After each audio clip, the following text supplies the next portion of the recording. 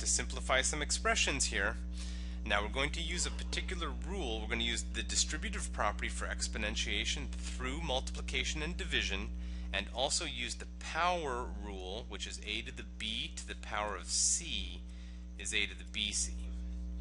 Okay, using these rules and the distribution through the multiplication and division, let's start on the left. So we have negative 3 to the power of 3 y squared to the power of 3 over z to the power of 3. So that's the distributive property where I'm bringing through all of the powers. Now negative 3 to the power of 3 is negative 3 times negative 3 times negative 3. That would be negative 27. y squared cubed by the power rule would be y to the sixth. And then z cubed is just simply z cubed.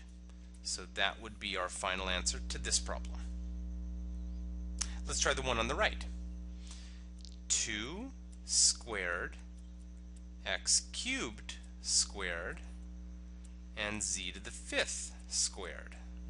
There's the distributive property. Now 2 squared of course is 2 times 2 which is 4.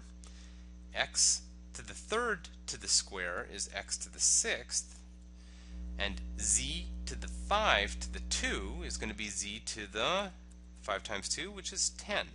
So the final answer here is 4x to the 6th z to the 10th. Okay, why don't you try one on your own? Pause the video and see if you can do this one. Assuming you paused the video and gave it a shot, let's do it together now. Looks like we have negative 3 squared x squared squared y squared over z squared squared w cubed squared. So now we'll just do each one individually using the power rules.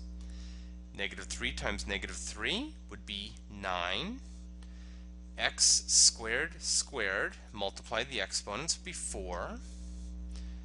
Then a little y squared over z squared squared would also be 4, so that would be z to the power of 4. And then the w is going to have a 3 and a 2, so 3 times 2 is 6. And that one's going to be w to the 6th. So the final answer for this one was 9x to the 4th y squared over z fourth w to the 6th.